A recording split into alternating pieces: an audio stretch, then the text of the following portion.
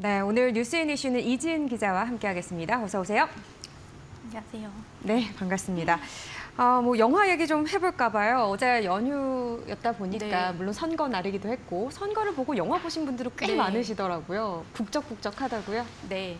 엔데믹 분위기로 전환이 되면서 극장가도 다시 활기를 되찾고 있는 모습입니다. 지난달 영화관을 찾은 관객이 1,400만 명을 넘어섰는데요. 코로나19 이전 수준을 거의 회복한 것으로 집계가 되고 있습니다. 팬데믹 직전인 2020년 1월 1,680만 명 정도에서 28개월 만에 최다 관객 수를 넘어섰습니다. 어, 지난 4월 310만 명과 비교하면 무려 366% 넘게 증가한 수치인데요. 팬데믹 이후 월 관객 수가 1천만 명을 넘기는 것은 지난달이 처음이었습니다. 월간 관객 수는 판- 팬데믹 초기인 2020년 4월 97만 명으로 바닥을 찍은 이후에 어, 매달 수백, 수백만 명대에서 오르내렸습니다. 지난달 관객 수는 2019년 5월 1,800만 명대였고 2018년 5월에는 1,600만 명대였습니다. 이때와 비교하면 팬데믹 이전 수준을 거의 회복했다 이렇게 볼 수 있을 것 같습니다. 네, 뭐 주변에도 보면 워낙 영화 보시는 분들도 많고 저는 아직 못 봐가지고 네. 지금 너무 안타까운데 뭐 닥터 스트레인지 2도 있고 범죄의 네. 도시도 나왔고요. 지금 여러 가지 주라기 네. 공원도 나왔다고 하더라고요. 어, 네 이제 곧 출시가 될 예정. 네. 그래서 지금 영화들의 흥행 속도가 굉장히 빠른 것 같은데 네. 어떻게 보세요? 네, 최근 닥터 스트레인지 2와 범죄 도시 2가 2주 간격으로 개봉을 했습니다. 각각 지난달 4일과 18일에 개봉을 하면서 신작들이 흥행을 끌고 있는데요. 어, 또 영화관에서 팝콘을 비롯한 식음료 소비량이 매출의 20%가 넘, 넘는 비중을 차지하고 있는 만큼 또 영화관 내 취식이 다시 가능해진 정도 좀 긍정적으로 영향을 미치고 있는 상황입니다. 지난달 4일에 개봉한 닥터 스트레인지 2는 누적 관객 수가 약 580만 명을 기록을 했습니다. 범죄도시 2 같은 경우에는 지난달 개봉 직후부터 박스오피스 1위 자리를 넘겨받으면서 빠른 속도로 누적 관객 수 700만 명을 넘어섰습니다. 이는 2017년에 개봉한 시리즈 전편인 범죄도시의 관객 수 688만 명을 뛰어넘은 수준이고요. 범죄도시 2의 흥행 속도가 어느 정도로 빠르냐 하면 지난 2019년 개봉해서 12일째 700만 명을 돌파한 기생충 이후에 가장 빠른 속도로 보시면 될 것 같습니다. 팬데믹 이후 최고 흥행작인 스파이더맨 노웨이 홈은 700만 명을 넘는데 한 달 정도 가량 소요가 된 것으로 집계가 됐습니다.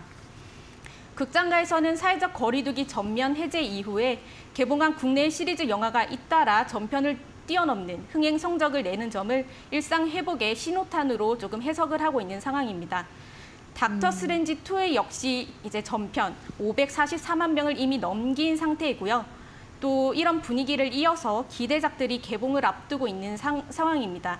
주라기 월드 3와 또 마녀 2와 같이 속편 영화들이 흥행을 이어갈지가 최대 관심거리이고요.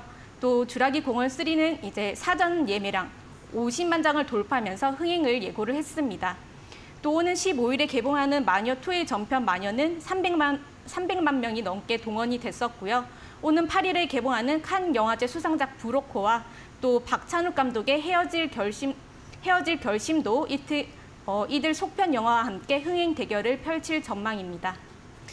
네, 이제 억눌렸던 수요들도 좀 많이 분출이 되는 것 같고 그래서 흥행 속도 더 빠른 것 같고 지금 기대작들이 정말 많이 남아 있어요. 주라기 월드 같은 경우는 어제 개봉을 했고 뭐 마니어투, 토르 4까지 지금 좀 보고 싶은 게 너무 많은데 못 봐서 자 이렇게 되다 보면 당연히 극장가 실적도 네. 개선이 될 거고 사실 지금 주가들도 꿈틀거리고 있잖아요. 어, 극장가 실적도 음. 한번 짚어 넘어보고 가겠습니다. CJ CGV 같은 경우에는 올해 1분기 매출이 전년 대비해서 30% 넘게 증가를 했고요. 그리고 영업 손실도 같은 기간 80억 원 줄어들었습니다. 어, 이후로는 지난해 말 개봉한 스파이더맨 흥행 영향이 이제 1분기까지 이어지고 또 국내외 각국 로컬 콘텐츠 선전으로 매출이 늘고 영업 손실이 줄어든 것으로 분석이 되고 있습니다. 같은 기간 롯데 시네마를 운영 중인 컬처웍스 같은 경우에는 올 1분기 매출이 80% 증가를 했고요. 영업 적자 폭도 100억 원 줄어들었습니다. 대형 외화 개봉 등에 따른 회복세로 분석이 가능할 것 같습니다. 다만 변수로 작용할 수 있는 점은 온라인 동영상 서비스인 OTT인데요. 코로나19 장기화로 극장들이 장사를 제대로 된 장사를 하지 못하는 사이에 OTT가 일상 깊숙이 파고든 상황입니다. 영상을 끊어서 보는 쪼개기 시청이 가능하고 시간과 장소에 제약받지 않으면서 어, 소비자들을 조금 사로잡았는데요. 또 OTT 개봉을 선택하는 영화 제작사들이 늘어나면서 자연스럽게 극장에 갈 이유가 좀 줄어들었다 이렇게 볼 수 있을 것 같습니다. 음, 네, 네. 그렇군요. 네, 자, 앞으로 한- 좀한 실- 가지 더. 예, 네. 말씀해 주시죠. 네, 여기에 또 한 가지 더 이제 짚고 넘어가야 할 점이 이제 치솟은 극장 관람료도 소비자들에게 어. 조금 부담으로 작용을 하고 있는 상황입니다.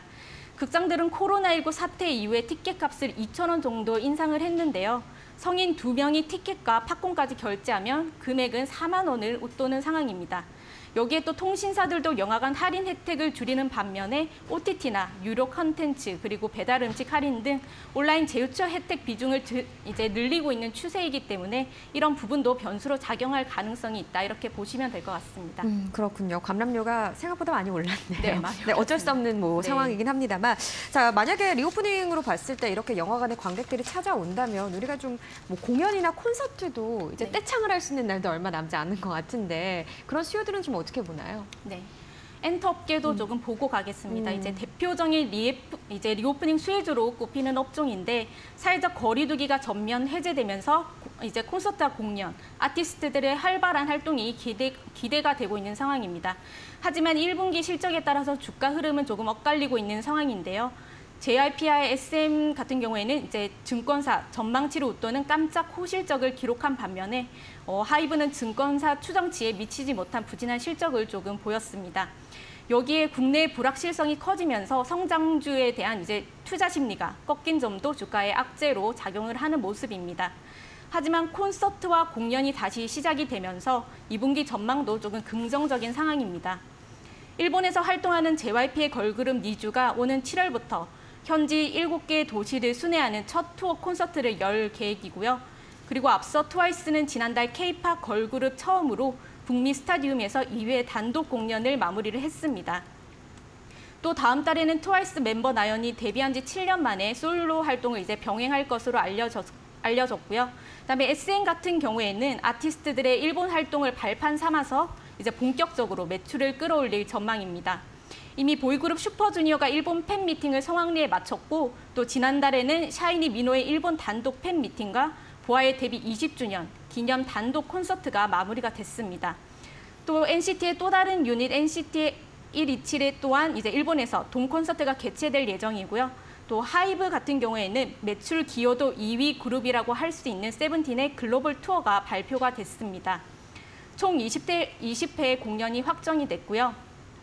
6월에는 한국에서 2회, 그리고 이제 8월, 9월에는 북미에서 어, 12회, 그리고 11월 12월 11월 12월에는 일본에서 6회 6회 이제 돔 투어가 진행될 예정입니다. 음, 그렇군요. 여러 공연들도 또 앞두고 있고 하나둘씩 콘서트 가시는 분들도 많고 한데 이제 reopening 관련해서 좀 점검을 해보고 있습니다. 콘텐츠 쪽도 또 봐야 될 것 같아요. 이쪽 투자 포인트는 좀 어떻게 잡아야 될까요? 네. 증권가에서는 이제 하반기부터 엔터주 조정이 끝나고 본격적인 실적 성장이 이어질 것으로 전망을 하고 있습니다. 하이투자 증권 같은 경우에는 주력 라인업인 스트레이 키즈의 성장 곡선 진입과 또 현지화 그룹인 니쥬의 성장이 맞물리면서 가장 큰 실적 레버리지가 기대가 된다면서 JYP를 업종 내 최선호주로 또 선택을 했습니다. 유진 투자증권 같은 경우에는 엔터사들의 음반 판매량이 지속해서 늘어나고 있는 상황이고 또 오프라인 콘서트 지역과 해당 모객 수 확대로 하반기에도 역대 최대 실적을 기록할 것이라고 관측을 했습니다. 그러면서 이, 2분기 오, 이제 오프라인 활동, 활동이 가장 활발한 SM을 최선호주로 그리고 JYP를 또 차선호주로 제시를 했습니다. 또 여기에 이제 2분기 영화관 전망도 조금 살펴보겠습니다. 앞서 말씀드렸듯이 매점 매출과 티켓값 상승이 이제 실적에 반영될 예정인데요. 극장들은 코로나19 사태 이후에 극장 관람료를 2천 원 정도 인상을 했고요. 매점 매출 단가는 팬데믹 기간 동안 인당 평균 1,800원까지 줄었지만 현재 3,500원까지 회복한 것으로 알려졌습니다. 매점이 전체 매출에서 차지하는 비중은 지난해 10% 수준까지 낮아졌는데 팬데믹 이전 수준이 18% 회복을 한다면 이제 유의미한 외형 성장이 가능하다는 분석이 나오고 있습니다. 다만 영화 산업이 코로나19로 직격탄을 맞은 만큼 재무 구조를 면밀히 살펴볼 필요가 있다. 이렇게 증권가에서는 의견이 나오고 있는데 이제 상대적으로 재무 구조가 안정적인 콘텐트리 중앙을 선호 종목으로 꼽기도 했습니다. 중국이나 터키, 또 인도네시아 등 어, 현지 법인의 실적 회복이 국내보다 조금 더뎌질 것으로 예상되는 가운데 상대적으로 실적 회복 속도가 빠른 이제 국내 극장 위주로 조금 유심히 살펴보시면 좋을 것 같습니다. 네, 그렇군요. 오늘 이런 주가들을 좀 확인해 보니까요. CJ CGV 같은 경우 4천억 원 규모의 전환사채 발행 소식이 있습니다. 오늘 2%대 낙폭 좀 기록하고 있고요. CJ ENM도 오늘 장에서 좀 빠지고 있고 스튜디오드래곤은 한 2%대 상승력 보여주고 있고 전체적으로 좀 주가 체크를 오늘부터도 계속 하시면 좀 추이를 보시면서 전략 세우시면 좋을 것 같습니다. 어쨌든 reopening 주가 수혜를 받는다는 네. 건 우리 일상생활이 예전으로 돌아올 수 있다는 거니까 그거는 참 기쁜 일이네요. 맞습니다. 네, 알겠습니다. 저, 저도 영화를 좀 꼭 봐야겠습니다. 오늘 말씀 여기까지 듣겠습니다. 고맙습니다.